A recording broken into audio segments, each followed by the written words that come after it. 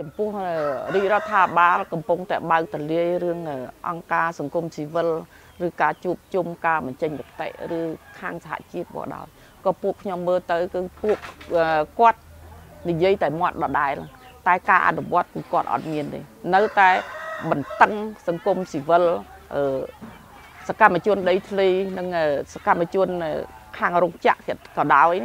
គឺគាត់នៅតែបិទដដែលព្រោះអាញាធរស្រុកខ្មែរនេះ គឺនិយាយតែមាត់ទេ តែការអនុវត្តរបស់គាត់គឺអត់មានបើកទលាយឲ្យប្រជាជនទេស្ថានភាពនៃសេរីភាពសារព័ត៌មានក្នុងឆ្នាំ2018នេះខ្ញុំគិតថាវារងអធិពលនៃការបង្ក្រាបកាលពីចុងឆ្នាំ2017មកអញ្ចឹងបើសិនជានិយាយអំពីការបង្ក្រាបរួមមានទាំងការបញ្ចប់មិនឲ្យមានការផ្សាយកម្មវិធីព័ត៌មានរបស់សារព័ត៌មានឯករាជ្យក៏ដូចជាការបិទកាសែតឯករាជ្យមួយចំនួនមាន Cambodia Daily ការផ្លាស់ប្ដូរម្ចាស់គ្រប់គ្រងនៃកាសែតភ្នំពេញ Post ហើយនឹងមានទាំងស្ថានភាពនៃការដូចជាផ្អាកការផ្សាយរបស់គេហទំព័រនៅមុនការបោះឆ្នោតឆ្នាំ2018ហ្នឹងហើយនឹងស្ថានភាពនៃការរើសអើងការគម្រាមកំហែងទៅលើអ្នក សារព័ត៌មាននិងការងាររបស់អ្នកសារព័ត៌មានខ្ញុំឃើញថាស្ថានភាពហ្នឹងគឺយើងមិនអាចនិយាយថារហូតមកដល់ចុងឆ្នាំ2018ហ្នឹងគឺស្ថានភាពវាមានលក្ខណៈល្អប្រសើរជាងចុងឆ្នាំ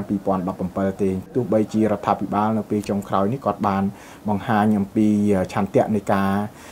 បើកឲ្យមានដំណើរការនៃការផ្សាយរបស់វិទ្យុអាស៊ីសេរីកាយឡាយវិទ្យុ VOA នៅប្រទេសកម្ពុជាមែនប៉ុន្តែគ្រាន់តែជា ការបង្ហើបឲ្យដឹងដោយមិនទាន់មាន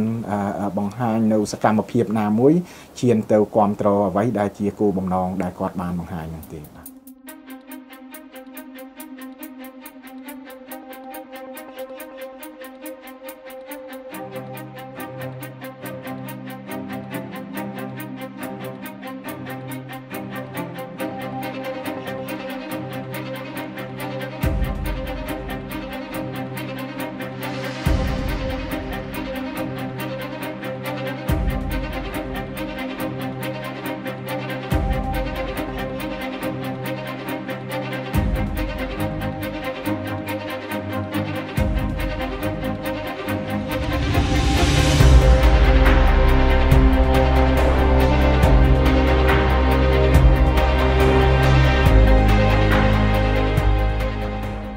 បើយើងមើលជារូបភាពវិញយើងឃើញថានៅចុងឆ្នាំ2018នេះរដ្ឋាភិបាល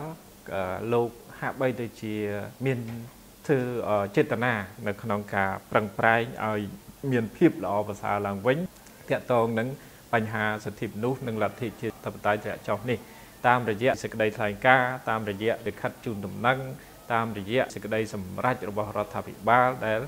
ផ្ដល់សិទ្ធិសេរីភាពទៅដល់អង្គការសង្គមស៊ីវិលក៏ដូចជាសហគមន៍មូលដ្ឋានហើយនឹងបើកទលាយឲ្យមានការបញ្ចេញមតិបណ្ដេថាសិទ្ធិសេរីភាពក្នុងការបញ្ចេញមតិរបស់ប្រជាពលរដ្ឋអានេះបើសិនជាទស្សនវិជ្ជាទូទៅវាវាហាក់បីដូចជារដ្ឋាភិបាលចង់ឲ្យមានលំហប៉ុន្តែយើងមើលទៅការអនុវត្តជាក់ស្ដែងវិញការអនុវត្តជាក់ស្ដែងយើងអត់មើលអីទេយើងមើលតែត្រឹមតែទស្សនវិជ្ជាមួយថ្ងៃគឺថ្ងៃ10ធ្នូនេះយើងឃើញថា សហគមន៍ក៏ដូចជាអង្គការសង្គមស៊ីវិលប្រជាពលរដ្ឋដែលគាត់ប្ររពទិវាសិទ្ធិមនុស្សហើយដែលរដ្ឋាភិបាលបានបើកទូលាយថាអង្គការសង្គមស៊ីវិលឬសហគមន៍មូលដ្ឋានហ្នឹងធ្វើសកម្មភាពរបស់ខ្លួនមិនបាច់ជូនដំណឹង3ថ្ងៃមុនទេប៉ុន្តែនៅពេលដែល10ធ្នូប្រជាពលរដ្ឋខ្លះគាត់ជូនដំណឹងគាត់សុំច្បាប់ណាហើយដោយនៅភ្នំពេញហ្នឹងមានតែការជូនដំណឹងសុំដង្ហែក្បួនទៅទៀតប៉ុន្តែត្រូវបានរដ្ឋាភិបាលនិងអាជ្ញាធរហ្នឹងមិនអនុញ្ញាតឲ្យហែទេ ហើយឲ្យជួបជុំគ្នានៅទីលានជាតបតៃគ្នាតែជួបជុំទីលានជាតបតៃហើយតែផ្ទុយទៅវិញគ្រាន់តែកម្លាំង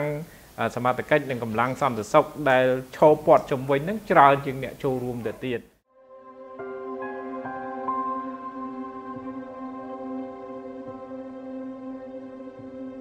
ជំរាបសួរថ្ងៃនេះពួកខ្ញុំបានរកឃើញផតតាថ្មីមួយទៀតដែលបង្ហាញថា ទោះជាមានបញ្ហាប្រឈមមុខយ៉ាងណាក៏ដោយក៏យើងនៅតែបន្តសកម្មភាពនឹងដែរដោយសារតែយើងគឺជាអ្នកដែលធ្វើសកម្មភាពខ្លាំងហើយហើយដល់ពេលចុងក្រោយយើងខ្លាចយើងឈប់អញ្ចឹងវាធ្វើឲ្យយុវជនឬក៏សកម្មជនផ្សេងផ្សេងទៀតគាត់ខ្លាចអញ្ចឹងដែរ